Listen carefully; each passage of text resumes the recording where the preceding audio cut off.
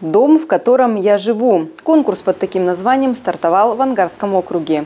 К участию приглашаются инициативные жители, не жалеющие сил и времени для благоустройства своих дворов.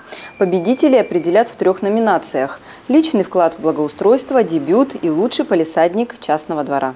В этой номинации у нас впервые в этом году смогут принять участие жители внегородских территорий. Это Саватеевка, Одинск и Мегет. Номинация специально сделана была для территорий отдаленных микрорайонах и негородских. А, в каждой номинации будет три победителя. А, первые три места. Первое место – это у нас сертификат на семена и садовый инвентарь а, сумма полторы тысячи рублей. Второе место – это сумма тысяча рублей. Третье место – 700 рублей. Заявки принимаются до 1 августа. Подведение итогов и награждение победителей состоится 15 числа.